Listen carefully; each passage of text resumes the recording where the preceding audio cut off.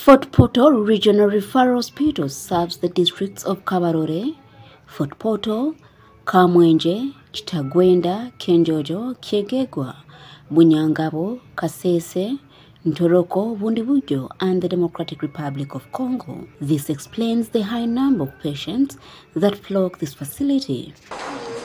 On average, the facility records more than 30 cases of accidents, with the biggest number being motorcycle accidents. Because of location on the highway, regularly we have individual accident out of motorcycles. You may receive like four, five on a daily basis. Then the mass casualties from um, vehicles. Usually these are incidental like during the Christmas holiday and now we have so far had about four of them.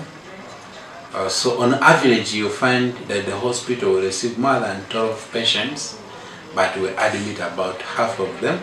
The rest will discharge them when we stabilize them. Dr. Lauben Chomukama Amagara, the facility surgeon, says the facility is grappling with lack of supplies to handle all the accident cases registered at this facility. Looking at the supplies we get, Uh, really sometimes we are overwhelmed. The number does not match the supplies.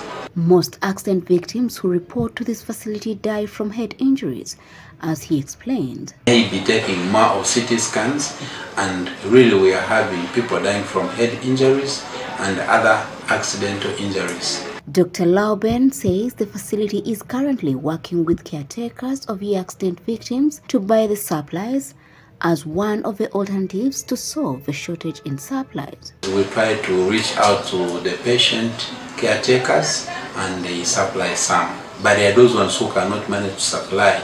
So you find doctors dodging here and there trying to improvise what to use. The accident cases have been attributed to reckless drivers and irresponsible boda boda cyclists who do not abide by the road safety signs. Story by Jonan Tusingwire for the news in Portal City.